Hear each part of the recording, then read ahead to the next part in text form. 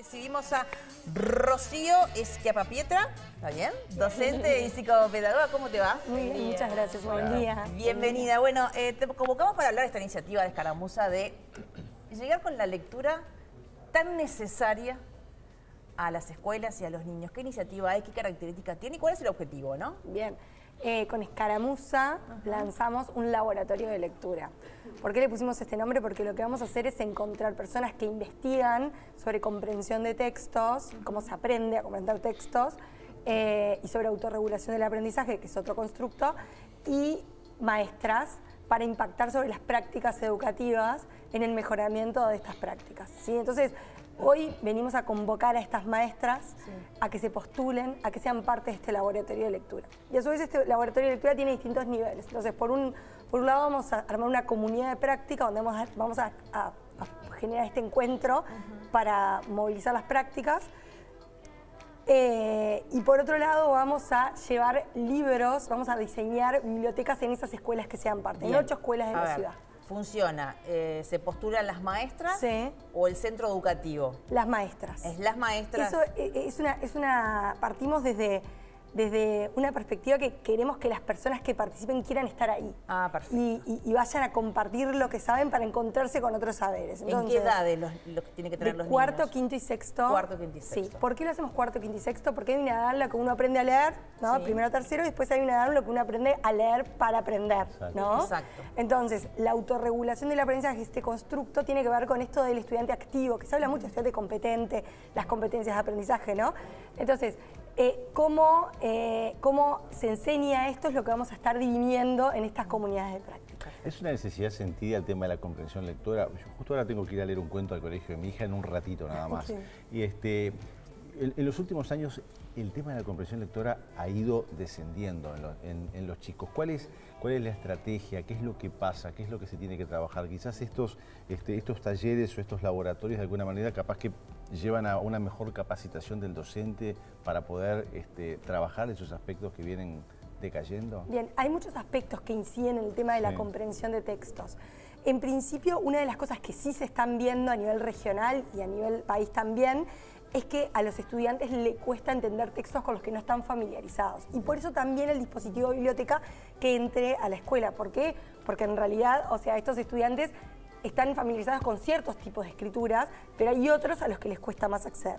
Eso se enseña, no se aprende solamente por aprender a leer, ¿no? Implica una enseñanza explícita de estrategias, de qué pasa cuando me encuentro con un obstáculo, eh, qué pasa cuando no, tiene un vocabulario del que yo manejo, ¿no? que es un vocabulario eh, distinto, que no está dentro de mi registro común. Les es más fácil ir por el lado de los videos para poder entender historia, por ejemplo, que por el lado del libro de historia. Claro, y sí hay estrategias. Y el diseño de este laboratorio está inspirado en la tesis doctoral de una colega, ¿sí?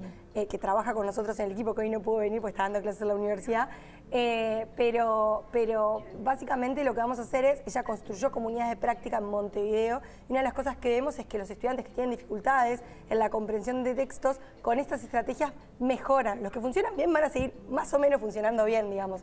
Entonces, eh, lo que sabemos es que sí hay estrategias, sí hay maneras de enseñarlo, y que esas estrategias tienen que articularse con el conocimiento, con el saber pedagógico de los docentes, ¿no?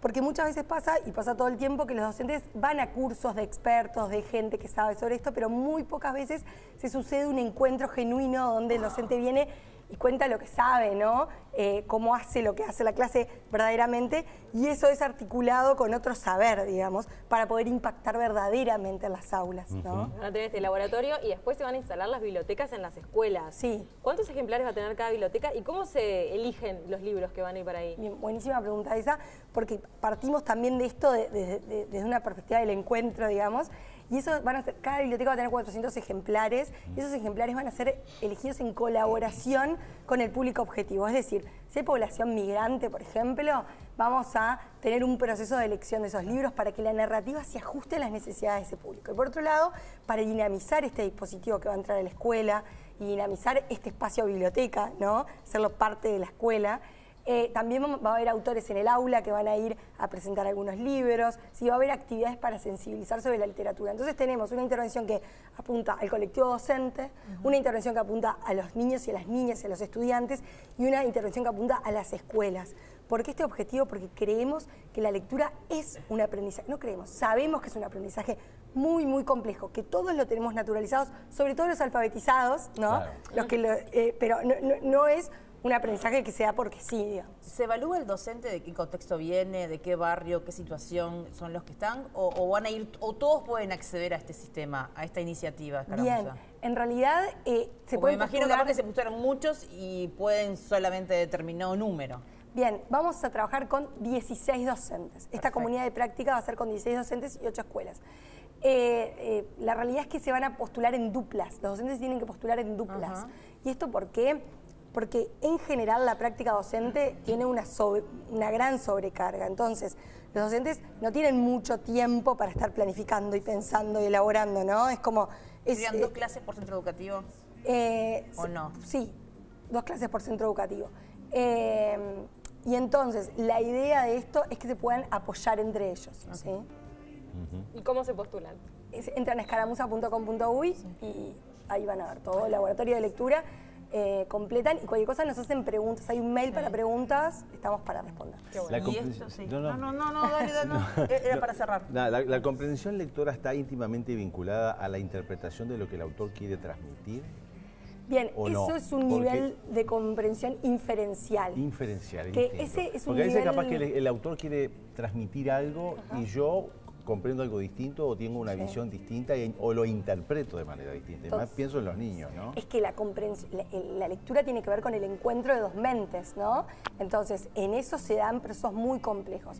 Ese nivel de lectura, ese nivel de comprensión es un tipo de comprensión más inferencial.